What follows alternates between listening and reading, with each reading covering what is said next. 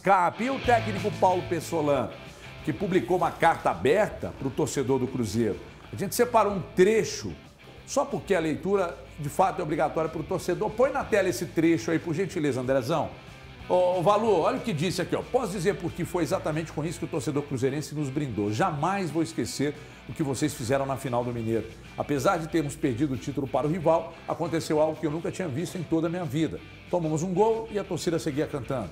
Tomamos outro e a torcida seguia cantando. Acabou o jogo e a torcida seguia cantando. Perdemos um clássico, uma final de campeonato e a torcida seguia cantando.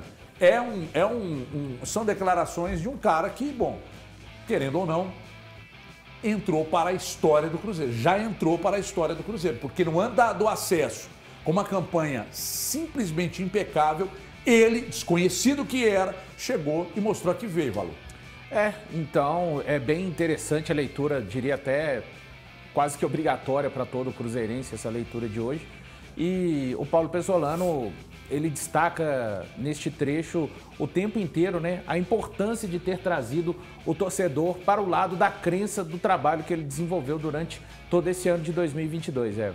É, gente. É, eu, eu, ele que... diz que vem mais, né, ainda. Né? Na carta também ele diz que vem mais, que o Cruzeiro ainda pede mais. A grandeza do Cruzeiro é, é, merece mais conquistas. Mas você acha que isso vem, essa declaração dele vem porque ele não quis abrir, mas já falaram com ele que o time do ano que vem será um time que não é só para permanecer? Mas é um time forte, pô. A gente espera isso do Cruzeiro. É um time que vai não, brigar. Não, a gente... Não, o torcedor não espera, não. Ô, o torcedor tem Poxa, consciência do momento é que o Cruzeiro vive. O Cruzeiro... Inclusive, o Ronaldo hoje, mais uma vez, disse que o Cruzeiro não está com a sua vida resolvida simplesmente por chegar à primeira divisão. As receitas vão aumentar, mas a os briga problemas continua não amanhã.